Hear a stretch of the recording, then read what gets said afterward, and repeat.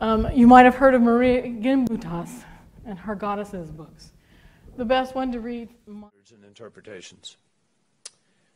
Uh, Good. Our second question goes to uh, Marija Jovicevic from Pobeda newspaper. a role in procreation.